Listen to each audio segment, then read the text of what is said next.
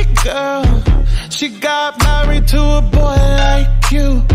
She'd kick you out if she ever, ever knew about all the you tell me that you do.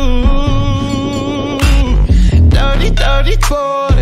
You know everyone is talking on the scene. I hear them whispering about the places that you've been and how you don't know how to keep your business clean. Preliminary understand that? Yes, I do. Mr. Uh, McCann, do you wish to address the issue? Is it correct that you wish to waive or give up your right to have a preliminary hearing in this case?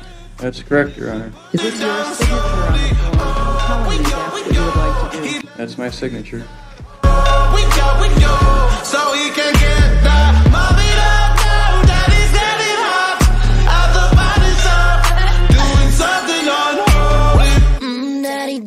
If you wanna drop the attic, give me love, give me Fendi, my